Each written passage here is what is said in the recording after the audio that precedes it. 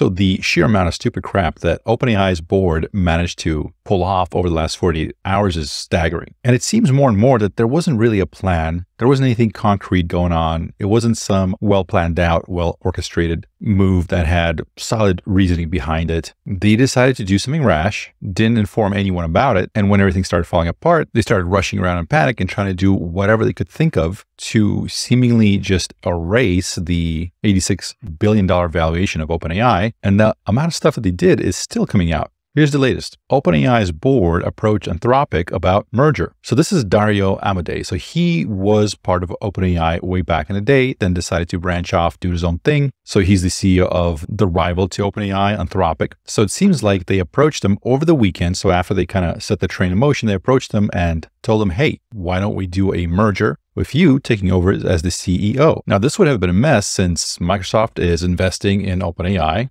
Google and Amazon are investing in Anthropic. Amazon will feature Anthropic as one of their foundational models for their cloud services. Google put a big chunk of cash into Anthropic. So this idea to just like merge the two companies over a weekend, like as fast as possible to try to get a new CEO in, I mean, it just sounds insane. It sounds like somebody just went rogue and aimlessly trying to shoot in all directions. Now, it seems like Anthropic CEO Darius Amodei has a strong working relationship with the ex-CEO of Twitch, Emmett Shear. And so maybe that's how Emmett Shear got offered the position. Maybe Dario Amodei said, Hey, I'm not going to do it, but here's somebody that might be able to, that might be a good fit for the position. You know, when Sam Altman was saying how much he loves all the employees at OpenAI, after reading this, I got to say, I kind of, I love him too. So here's what happened uh, Sunday. There has been a nonstop power struggle inside OpenAI since Friday with nearly all employees against the now three person board that opposes Altman. Employees at the company's San Francisco headquarters refused to attend an emergency all hands meeting scheduled on Sunday with the new CEO, Emmett Shear, according to a person familiar with the matter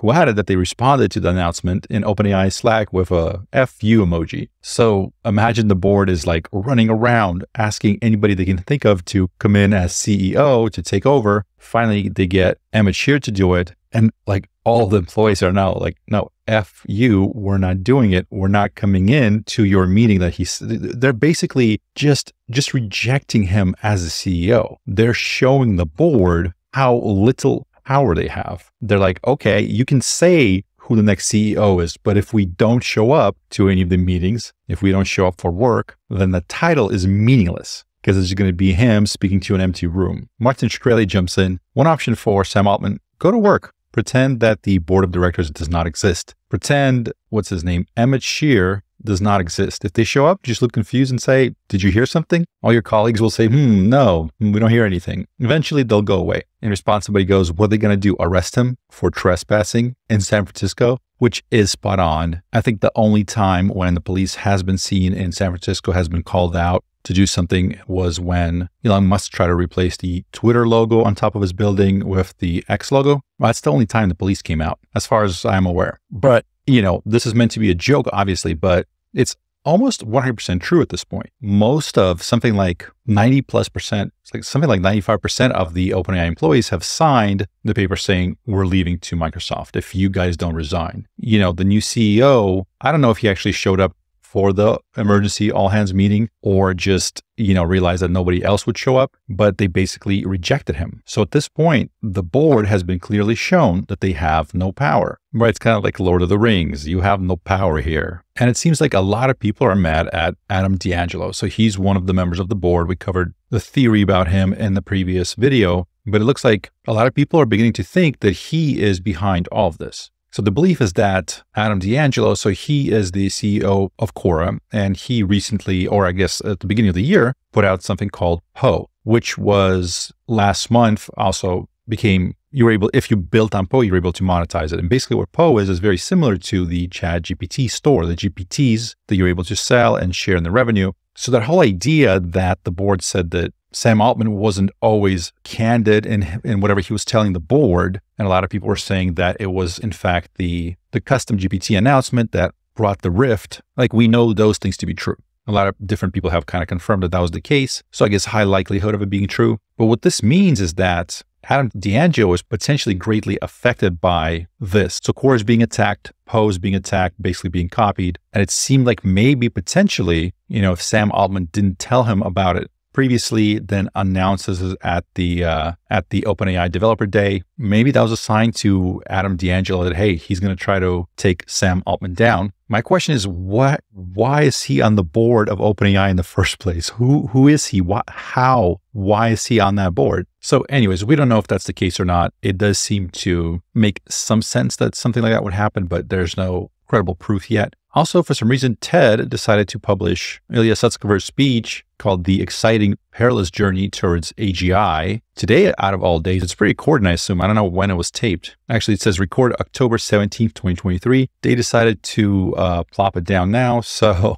before you go, let me play just a few highlights to give you an idea of what the speech was about. One interesting thing is that when this whole thing was starting out, Ilya Sutskever was very reserved, very quiet. He wasn't a very like outspoken person. And as a lot of this stuff was coming out, people were saying that in his recent few months at, at OpenAI, he became a little bit more of a more of a person that was trying to be in the spotlight a little bit, maybe. He bought an effigy and burnt it to symbolize unaligned AI. So, like, he bought like a little wooden statue, like a doll, called that doll, this is our, this is unaligned AI, this is bad AI, and they set it on fire. He also would often say, Do you feel the AGI? He would make people chant, Feel the AGI, feel the AGI, that kind of like repetitive saying. And apparently he was also, also asking a lot of the people that were they were hiring during interviews if they indeed feel the AGI. Now, I don't know what to make of that. Is that made up story or not? But I gotta say, this whole demeanor is very different in this recording than what it was from those recordings a year plus ago. So I'll play a few clips and I, well, I'm off to bed. It's been a long couple days. My name is Wes Roth and thank you for watching.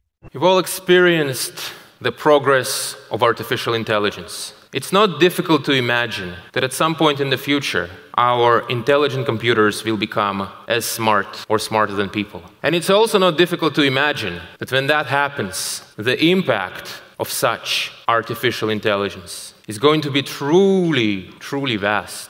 It's very easy to explain how artificial intelligence works. Just one sentence.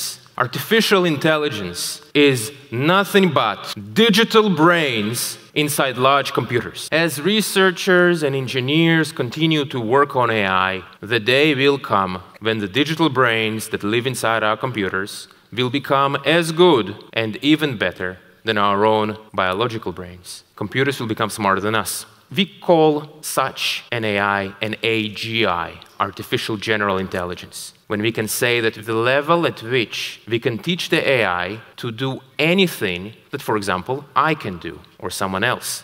For every positive application of AGI, there will be a negative application as well.